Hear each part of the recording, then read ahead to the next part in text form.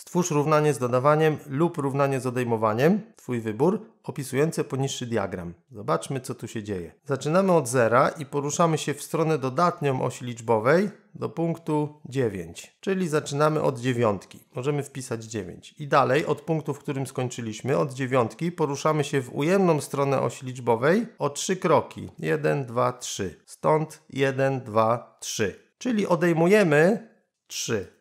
Ponieważ w zadaniu jest powiedziane, że mamy stworzyć równanie, to powinniśmy mieć tutaj znak równości i prawą stronę równania. Ile to jest 9 odjąć 3? 9 odjąć 3 to 6. I widać na osi liczbowej, że miejsce, w którym kończymy wszystkie nasze działania, to miejsce to jest na osi liczbowej szóstka. 9 odjąć 3 równa się 6. 9 w stronę dodatnią, czyli plus 9, odjąć w stronę ujemną 3 równa się 6.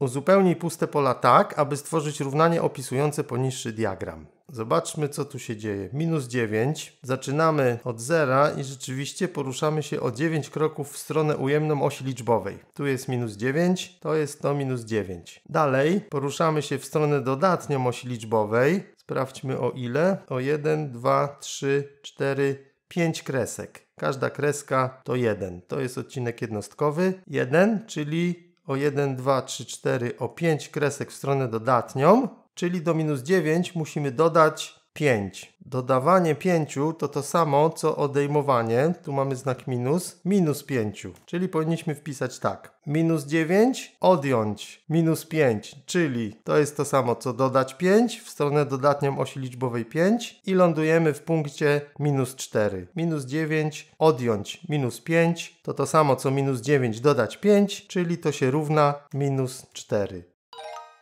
Stwórz równanie z dodawaniem lub równanie z odejmowaniem, Twój wybór, opisujące poniższy diagram. Zaczynamy od zera i poruszamy się w ujemną stronę osi liczbowej o 1, 2, 3 kroki, czyli lądujemy w punkcie minus 3. Minus 3. Dalej od tego punktu poruszamy się w stronę dodatnią na osi liczbowej. Sprawdźmy o ile. O 1, 2, 3, 4. O 4 kroki. Ta strzałka to jest 4 kreski w stronę dodatnią osi liczbowej, czyli dodać 4 dodać 4. I to się równa, możemy sprawdzić na osi, ile to się równa. Lądujemy w punkcie 1, albo po prostu obliczyć to, co mamy po lewej stronie równania. Minus 3 dodać 4 to się równa 1. I na osi też widać, minus 3 dodać 4 to się równa 1.